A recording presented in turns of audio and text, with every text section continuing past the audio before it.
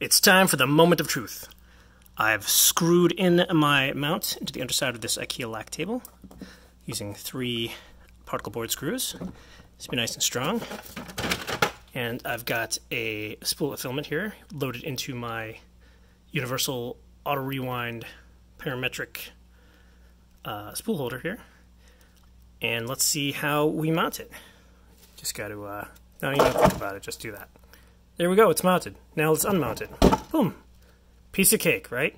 it doesn't get much easier than that. You don't even have to think about it. And what's nice about this is I could hang another one right here, right up here, and have them right side by side, and I can reach through this column. Whereas if you have the vertically mounted ones, it's really hard to get to the back one back here, you know, when, and you'll end up bumping this one right here. In fact, that's what I used to have. I used to have these under shelf ones, and I would knock them off their holders constantly. With this one, it's not really a problem now, is it? I can bump it all around and it'll be fine. It's awesome.